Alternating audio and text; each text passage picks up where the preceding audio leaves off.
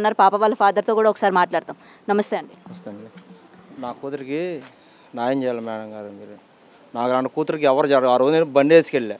ఆ పిల్ల సోమవార నాన్న నొప్పొస్తుంది నొప్పొస్తుందని అంటుంది. ఏమైందమ్మా అంటే అన్నకి ఇచ్చాను ఏ అన్నకి ఇచ్చా అంద అందరం చూపిస్తా. ఇప్పుడు ఇన్సిడెంట్ జరిగిన వెంటనే పాప మీతో చెప్పిందా? సోమవారం చెప్పింది. సోమవారం పొద్దున్న లేచి అంతా వాసిపోయింది మేడం గారు. మనగడ మనం. అంతా వాసిపోయింది నాన్న ఏడు నొప్పొస్తుంది నొప్పొస్తుంది ఏమైందమ్మా అంటే ఇదంతా గొప్పని హాస్పిటల్ నువ్వు జెండు మంది నీరు రుద్దినండి నా కూతురికి అండి నాకు చెప్పింది నాన్న నొప్పొస్తుంది ఏడుతుంది. పొట్టమే పుడుకుని ఏడుతుంది.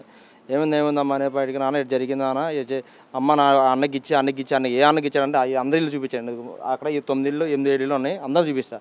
ఈ అన్న కదా అన్నాడు. స్వా- మంగళ బుధవారం ఇప్పుడు వచ్చాడు కూర మంగళవారం వచ్చాడు. ఎవరు ఈయన అంటే ఈ అన్నకి ఇచ్చిందని అది చూసి బీసుకుపోతుంది పిల్ల చూసండి భయం పడిపోతుంది. పిల్లకి పిలుస్తున్నాయి పిల్లకి పిలుసు వస్తే పిల్ల బీసుకుపోతుంది. పిల్ల పిలుసు అని లోపల తీసుకెళ్ళా. అన్న ఈ ఆడవాళ్ళందరూ నాలుగైదు కాగేసాను మేడం. నాకు కొత్తగా మేడం. ఇవి వచ్చి నేను ఇరవై రోజులు అవుతున్నా. పళ్ళు బండి వేసుకుంటున్నా బండి- మీరు ఇంతకు ముందు ఎక్కడ ఉండేవాళ్ళు నేను విజయవాడలో ఉండే విజయవాడ పాకిపురం ఉండేవాడండి విజయవాడ. టై పనికి వెళ్ళేవాడు నేను. ఓ ఒంట్లో బాగా నాకు ఒంట్లో బాగు కిడ్నీ రాళ్ళే ఉన్నాయి నాకు. పిల్లగాడు పిల్లగా చిన్నపిల్ల హోల్ ఉంది అన్నీ ఉన్నాయి. నాకు నేను నాకేం మా టెస్ట్లో ఏం ఆలో తెలుసు నా కూతురికి. నా కూతురు న్యాయం న్యాయం చేయాలి. Pawan Kalyan sir CM sir అందరూ వచ్చి నా కూతురు న్యాయం చేయాలి. వాటి గురించి చేయాలి నేను నాకు. అదే కోరిక. నా ఇంటి ఆడపిల్ల చాలా మంది ఉన్నారండి దేశంలో. నా ఇంటి ఆడపిల్ల చాలా మంది ఉన్నారు. నా నా ఆడ నా నా కూతురు అలాంటి నాకు నా ఇంటి ఆడపిల్లకి ఎవరు జరగకూడదు. అడిగి ఉరి ఉరి ఉరి ఉరి చేసి చేయాలండి. అది వెయ్యాలి రోడ్డు మన ఎల్లిపినార్లో చేసింది కాబట్టి ఎల్లిపినార్లో చేసి వాడు ఉరేయాలి. అదే అదే నా కోరిక సార్. ఇలాంటి ఇలాంటి లంచోళ్ళు ఎప్పుడు చేయకూడదు చెయ్యకూడదు అలాంటి వాళ్ళు నాకు కొడుపాదే నాకు అట్ట ఉంది నాకు నా కుదురు జరిగింది. నా కుదురు ఏడుతుంది నైట్ పూట ఏడుతుంది నా నొప్పినేమో అల్లాడిపోతుందండి. మీరే సీఎం సారు పొలం ఆడవాళ్ళు అందరూ చెప్పి నాంజరి మ్యామ్ టీవీ అందరూ వచ్చి బాగా చెప్పుకోలేకపోతున్నా బాగా కూతురు బాగా చెప్పుకోవడం నేను. నాకు చెప్పి ఏడుతుంది ఎవరు చేయమంటారు తప్పకుండా అండి. తప్పకుండా మీకు న్యాయం జరగాలనే కోరుకుందాం. సో ఏది ఏమైనా సరే ఇటువంటివి ఎక్కువ శాతం చిన్నపిల్లలు అంటే ఇలాంటి ఇన్సిడెంట్స్ ఎప్పటికప్పుడు జరుగుతూనే ఉన్నాయి. కాకపోతే అటు ప్రభుత్వం కానీ లేకపోతే ఇటు పోలీసు వ్యవస్థ కానీ వెంటనే రియాక్ట్ అయ్యి దీని మీద తగిన చర్యలు తీసుకోవాలి అని అయితే డెఫినెట్గా కోరుకుందాం మీడియా తరపున కూడా. అండ్ వీళ్ళు అంటున్నారు ప్రజెంట్ వాడిని అయితే ఆ, పోలీస్ కస్టడీలోనే ఉన్నారు అరెస్ట్ చేయడం కూడా జరిగింది. అయితే పేరెంట్స్ మాటల్లో వింటున్నాము మళ్ళీ వాడు ఏమైనా బయటకు వచ్చే ఛాన్సెస్ ఉన్నాయేమో మళ్ళీ వాడు ఏమైనా అంటే బయటికి పే- వచ్చేస్తే మళ్ళీ ఎలాగా ఇలాంటి పిల్లలు ఇవాళ తినైంది రేపొద్దున ఇంకొకరు అవుతారు. కాబట్టి ఎలా అయినా సరే వాడికి ఉరిశిక్ష పడాలి ఉరిశిక్ష పడితేనే మాకు న్యాయం జరిగినట్టు అని అయితే ఇటు పేరెంట్స్ అయితే మాటల్లో మనం అయితే వింటున్నాము. అయితే ఇంకొకసారి చూస్తున్నారు కదా ఏది ఏమైనా సరే పిల్లల జోలికి వెళ్ళాలన్నా లేకపోతే పిల్లల్ని తాకాలన్నా సరే భయపడేటట్టు తగిన చర్యలు తీసుకోవాలని అయితే అటు ప్రభుత్వాన్ని డెఫినెట్గా మీడియా మీడియా పరంగా కోరుకుంటున్నాం. అటు మహిళా సంఘాలు కావచ్చు ప్రతి ఒక్కరు కూడా ఇటువంటి ఇన్సిడెంట్స్ మీద పోరాడడం జరుగుతూనే ఉన్నాయి.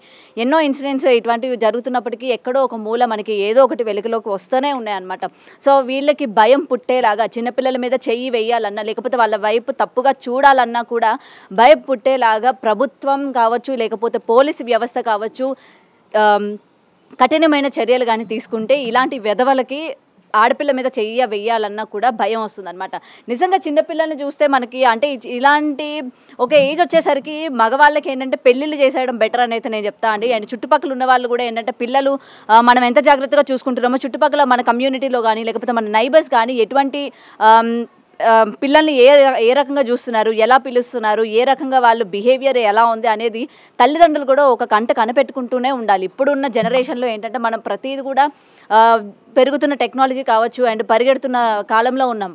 జాబ్ అని కానీ ఇలా డిఫరెంట్ డిఫరెంట్ దాని మీద మనం అందరం కూడా ఫోకస్ చేస్తూ ఉంటాం కానీ పిల్లల పరంగా కూడా ఏంటంటే ఎంతో కొంత జాగ్రత్త తీసుకోవాలి. వాళ్ళ వయసుకు వచ్చిన ఆడపిల్లలే కాదు చిన్న పిల్లలు పసికందుల మీద కూడా ఇటువంటి అఘాయిత్యాలు చేస్తున్న దుర్మార్గులు ఉన్నారనమాట సో మనం కూడా ఒక కేర్ తీసుకోవాలి. అండ్ ఇటువంటి ఈ శ్రీకాంత్ అనే వాడు ఎవడైతే ఉన్నాడో వాడికి సరైన శిక్ష పడాలి. ఆల్రెడీ ఇగోండి ఇల్లు అయితే చూస్తున్నారు కదా వాళ్ళ అమ్మగారు అండ్ తన అయితే ఉండడం జరుగుతుందంట. ప్రజెంట్ వాళ్ళ అమ్మగారు ఎక్కడున్నారు ఏంటన్నది తెలియదు వాడైతే పోలీస్ కస్టడీలో ఉన్నారు.